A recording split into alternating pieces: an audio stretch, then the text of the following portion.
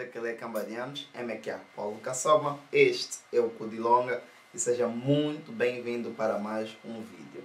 E hoje, novamente, mais uma efeméride. Na verdade, eu, eu acho que eu não gostava assim tanto de efemérides, não entendia o porquê de tantas datas, tantas coisas, eh, mas percebi que nós temos a tendência de nos esquecermos com certa facilidade. E essas datas existem principalmente para isso, para nos relembrar de coisas que não podem ficar sem a nossa devida atenção. Por isso, hoje, 15 de julho, celebra-se o Dia Mundial das Competências dos Jovens. Essa data foi instituída pela Organização das Nações Unidas em 2014 e foi celebrada pela primeira vez em 2015 e desde então viemos celebrando esta data. E o objetivo desta data, como eu disse, é exatamente o lembrete, né? sobre a necessidade de alcançar melhores condições socioeconômicas para os jovens como uma forma de se combater o emprego, combater o emprego, combater o subemprego e o desemprego. E é exatamente por isso que eu hoje venho aqui simplesmente para lembrar de que jovens, nós certamente podemos que jovens, nós certamente somos capazes. Não é à toa que se diz que os jovens são verdadeiramente a força motriz de uma determinada sociedade. E África, Angola, de acordo com o INE, nós somos cerca de 30 milhões de habitantes em Angola. E metade dessa população é jovem. Significa que nós somos importantes e necessários para Angola. Então, nós sermos a maior parte da população angolana significa que temos aqui uma oportunidade para renovarmos o capital econômico e social do país. Então, o que nós queremos apelar neste dia é que, jovem, procure alcançar o mais alto grau, nível de competência na área em que atuas, para que sejas verdadeiramente um agente de renovação socioeconômica para Angola e, claro, para o mundo. Porque no final, Angola mesmo precisa de ti. Angola precisa de cada um de nós para trazermos então essa renovação. E esquece a ideia de que precisas ser mais um Bill Gates, mais um Steve Jobs, que se calhar impactaram o mundo todo pelo aquilo que trouxeram. Se puderes enquanto pessoa, enquanto jovem, impactar uma ou duas pessoas no seio daquilo que fazes, na área em que atuas, já é bué da fixe. Todos nós só precisamos fazer a nossa parte, porque nós podemos, nós conseguimos, nem há dúvida nisso. Tem dúvida? Não pode ter dúvida, é claro. Então, diga-nos aí nos comentários em que área estás a especializar e em que área nós podemos contar com as tuas competências. E eu estou, eu acho que estou realmente feliz, né? Sei que ainda são muito poucos, mas vejo que a medida é ir aumentando, ir aumentando, ir aumentando. Jovens que se preocupam verdadeiramente em fazer parte da renovação, né? Deste tecido socioeconômico de Angola. Jovens que se preocupam em impactar e influenciar a vida de outros jovens positivamente eu poderia até citar alguns, talvez me esqueceria de alguns. Tenho a graça né, de ter amigos e amigas que estão de facto nesta senda de impactar a vida dos jovens, pessoas mesmo competentes, talvez jovens competentes, íntegros, gajos rijos, maus. E é, e é, e é um orgulho, e eu, e eu me orgulho bastante de poder ver e acompanhar esses jovens fantásticos e maravilhosos que andam por aí.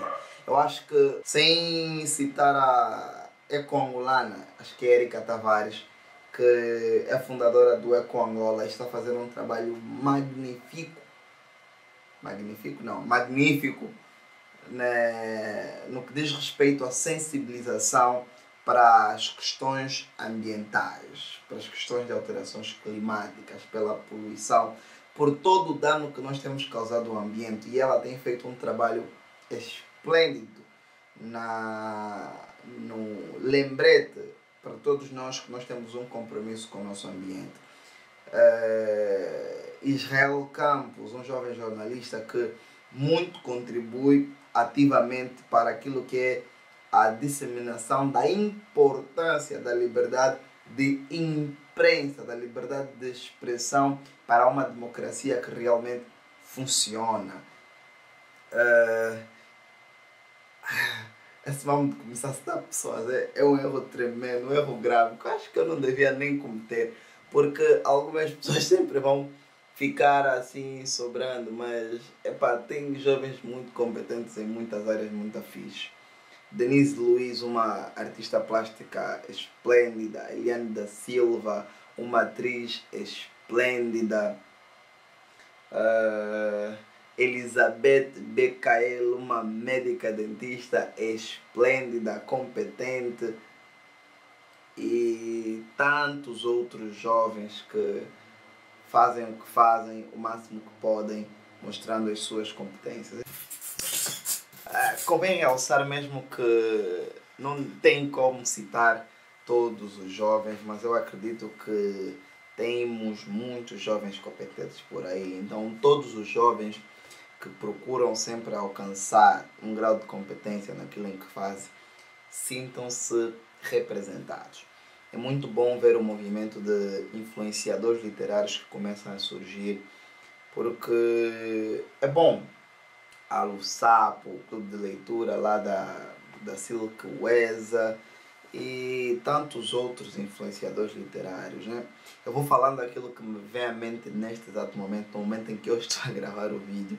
Então é mesmo para dizer que todos os jovens que procuram alcançar certo grau de competência naquilo em que estão a fazer sintam-se representados. Eu mesmo vos curto, bué, porque, epá, sei lá, sei lá, ver uma pessoa competente, com vontade de fazer aquilo que sabe fazer, não tem como, não tem como.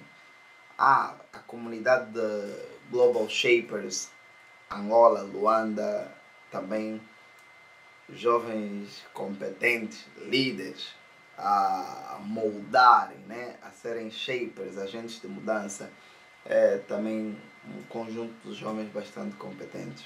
Então é isso. Hoje, Dia Mundial das Competências dos Jovens, é um dia que nós jovens né, precisamos procurar este nível, este grau de. grau, estou a falar sempre grau, este grau de competência, porque Angola precisa de nós.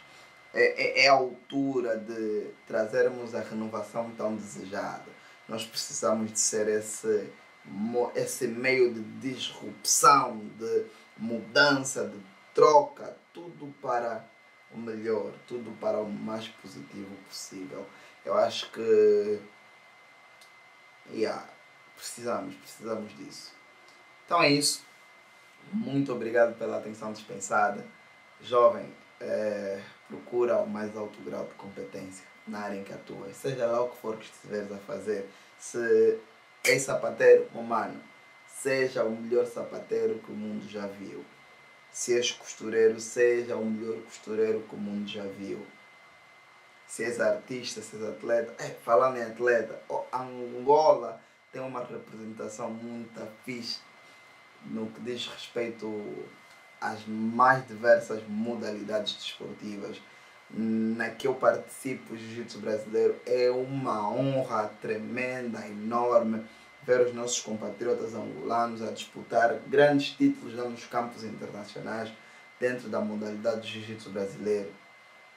Se formos até as nossas campeãs ali do do handball feminino é muito fixe. As imbatíveis, pô, 14 título.